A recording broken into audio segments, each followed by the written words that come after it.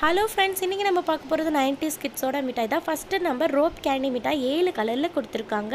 இது muskmelon next கார்வா palkova packet சூப்பராக இருக்குது பார்க்கவே இப்போயே சாப்பிட்ணும் போல் ஆசையாக இருக்குது இது ஆரஞ்சு மிட்டாய். இது இழந்த பல பேக்கெட் ரெண்டு பேக்கெட் கொடுத்துருக்காங்க.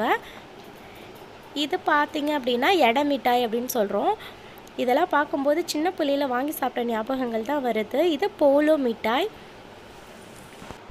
இது இழந்தப்பழ பேக்கெட்டு இனிப்பு இழந்தப்பழம் காரம் இழந்தப்பழம் நம்ம வாங்கியிருக்கிறது வந்து இனிப்பு.